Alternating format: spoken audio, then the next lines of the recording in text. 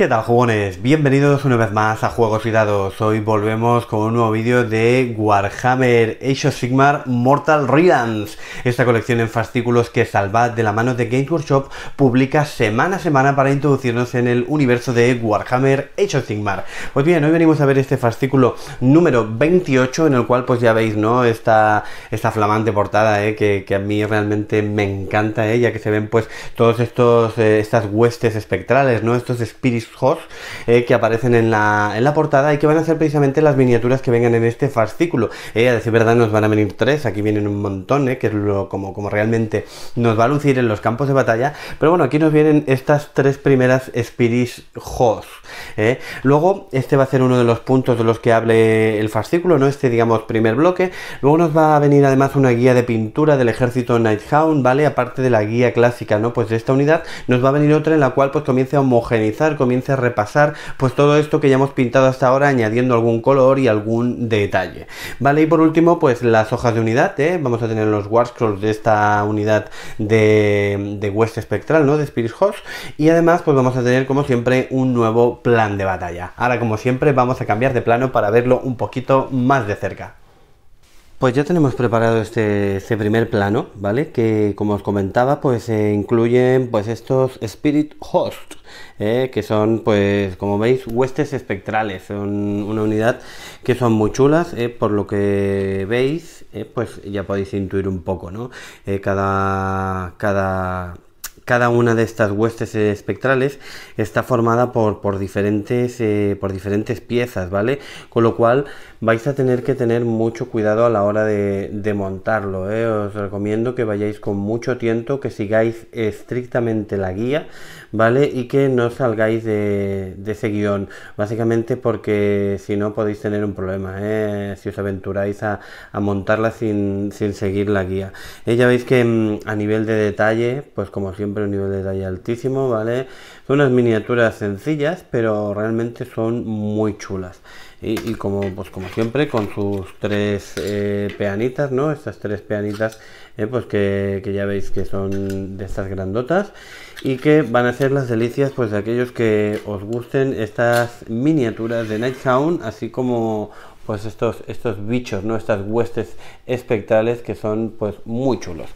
Ahora vamos a entrar en el fascículo eh como os digo aquí ya se ven pues estas huestes pintaditas que son realmente muy chulas Comenzamos, ¿vale? Y lo primero que nos va a hablar va a ser de estos Spirit Hosts, eh, que son pues básicamente eh, espíritus, ¿vale? Sin, no sin repercusión, sino espíritus que han caído, que han, personas, ¿no? Humanos que, han muerto eh, y que, pues digamos, se han, se han unido, todo esto se ha hecho una masa de, espíritus, ¿no? Que lo único que, que, persiguen, pues es un poquito, pues, matar y demás, ¿no? Pero, pero que ya veréis, ¿no? Cuando os enseñen las reglas, que a priori, ¿vale? Pues son un poco el, bulto, ¿no? El grueso, ¿no? De estos ejércitos Nighthound, ¿eh? entran en batalla, pues digamos los, los, primeros, desconciertan a los, a los enemigos y luego pues ya van entrando el resto de tropas y, y ya veréis que, que realmente eh, son bastante más útiles de lo que parece, ya que eh, cualquier enemigo, ¿no? cualquier ejército enemigo, se puede llevar una fuerte sorpresa a nivel de juego, ¿eh? como luego veréis con las, con las reglas de estas unidades. Aquí detrás pues nos empieza a hablar de, nos habla un poquito, pues nos sigue hablando de estas hordas de ejecución, y aquí nos habla pues de, mm, de Hammersdorf, que es básicamente un pueblo que fue mm, asesinado, ¿no? Fueron todos, todos, los que vienen allí fueron asesinados por una banda de necrófagos y eh, pues todos estos espíritus eh, de alguna manera pues se fusionaron y crearon esta hueste espectral que maldijo a la aldea, ¿no? Entonces pues bueno, aquellos que invaden estas ruinas eh, pues se encuentran estas, estos spirits host. Y luego nos habla pues de un enjambre famoso, ¿no? De una hueste famosa que, que, son em, pues esta, este enjambre Corspite, eh, que, bueno, que está formado por armas pues de, muchas personas que fueron exiliadas y murieron de frío.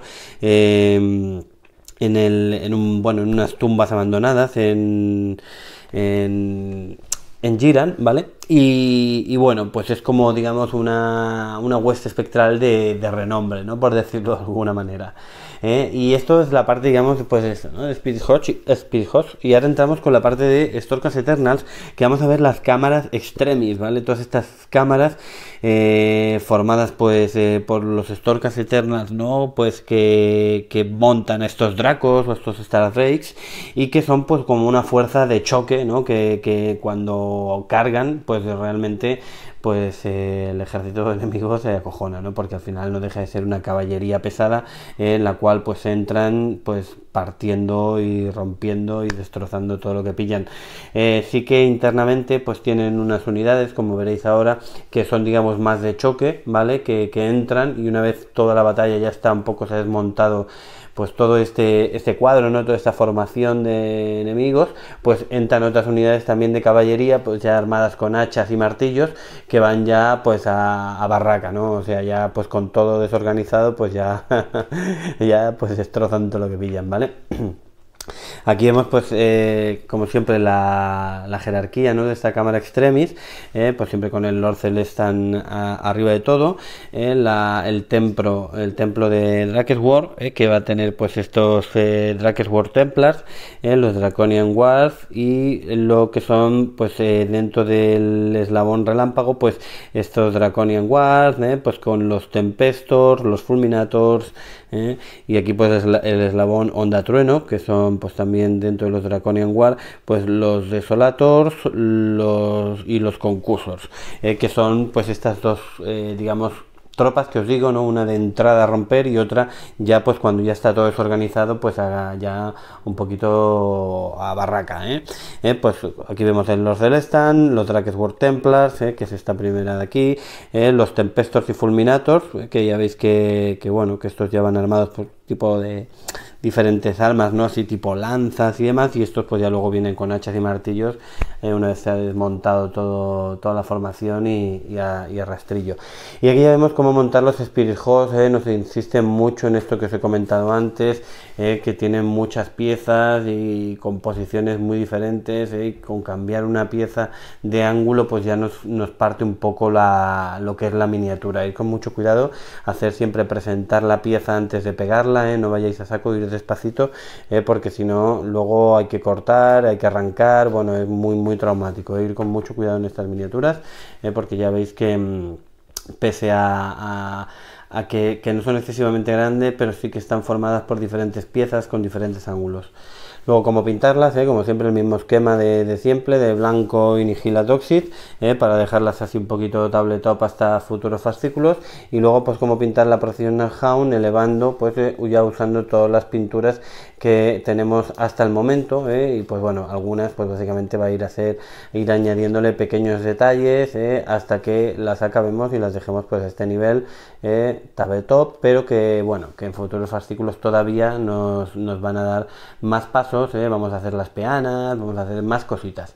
¿eh? y aquí pues la hoja de mm, War Scroll de los Speed Host, que es muy interesante porque Pese a que tienen la habilidad volar y etéreos, ¿eh? no tienen muchas más reglas, tienen la regla toque aterrador que ahora os explicaré y tienen em, alcance de una pulgada, ¿vale? Combate, evidentemente, cuerpo a cuerpo, pero tienen 6 ataques que impactan a 5 más, ¿eh? que es difícil impactar porque vamos a 5 más, y hieren a 4 más, ¿vale? Con lo cual no son una maravilla en combate y el daño es nada más que de uno, no tienen perforar ni nada porque, porque bueno, van con, con estas con este popurrí de garras y dagas, ¿no? O sea que tampoco es que vayan hasta los dientes.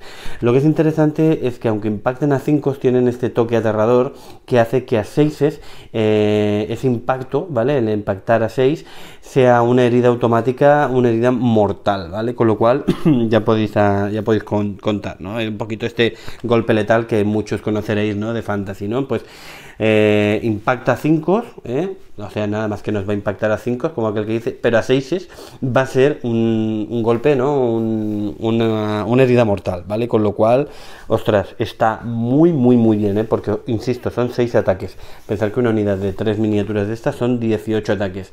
A 5, pues la, la estadística, la probabilidad nos dice que van a entrar pues de esos 18 van a entrar 6, ¿vale? Pero de esos 6, 3 van a ser 6, con lo cual vamos a poder ir 3 y vamos a hacer 3 heridas de golpe, con lo cual, sacando esta unidad cerca de un personaje o de alguna máquina de guerra, no una balista, una cosa de estas, le podemos dar al ejército, al, al, personaje, ¿no? al general rival, una sorpresa bastante, bastante dura, ¿eh? para, para, para, mi, para mi gusto, ¿no? ¿Eh? Y esto es un poco lo que nos explica, como siempre, aquí detrás.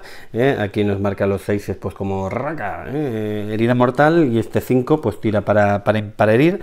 Como para, para, herir va a 4 más, si no recuerdo mal, pues esta también entraría. Con lo cual, pues ya veis, ¿no? Ha tirado 6 dados y le entran 3 casi nada, por encima de la media. Y la regla de Eterios, ya sabéis que no le hacen no le hacen daño estas, estas reglas especiales de perforar que tienen, por ejemplo, en las armas, algunas de las armas estorcas eternas y que vuelan, ¿no? Pueden sobrevolar, los obstáculos cuentan en línea recta, se pueden colocar encima de posiciones elevadas, patatín patatán. Recordar que, que, no puede acabar el movimiento pues encima de otra miniatura, ni amiga ni enemiga, todo de cajón. Purificar el bosque, bueno, pues nos encontramos en en, este nuevo relatito introductorio a la batalla del fascículo, en que los silvanés pues, se encuentran en el claro del bosque corazón, ¿vale? Y que están ahí apretaditos, apretaditos, porque ha llegado una hueste espectral, ¿no? Una, una pues bueno, un ejército Nighthound y están dándoles bastante caña y, quieren recuperar ese bosque, ¿no? Quieren echar a toda esta gente ya que tienen diferentes lugares sagrados y que les dan cosas y bueno, ya sabéis, cosas de los silvanés, ¿no?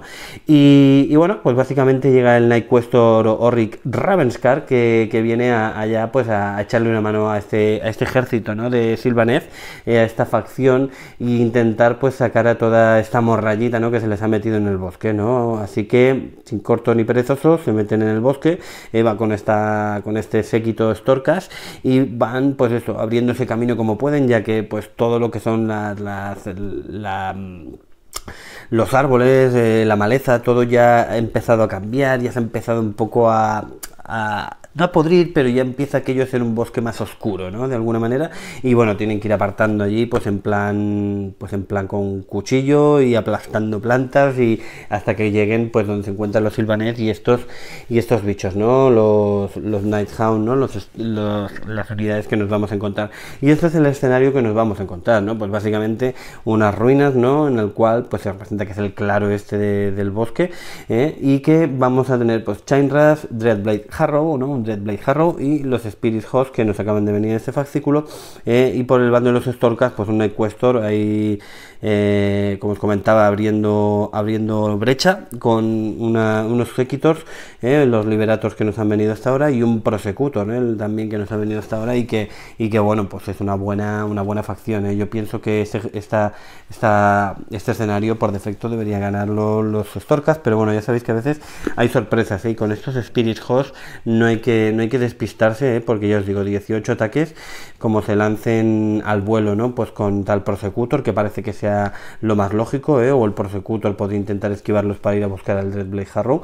Ostras, eh, se pueden llevar una sorpresa, ¿eh? hay que jugar muy bien aquí también en este escenario el Prosecutor, porque si lo lanzamos, lo más normal es que los Dreadblade y, los, y el Dreadblade Harrow y los Spirits se le echen encima y nos dure el Prosecutor lo que dura un hielo en un vaso de lo que ya sabéis, ¿no? Así que nada, esto es este fascículo, como siempre, portadilla contra portadilla, eh, y hasta aquí hemos llegado.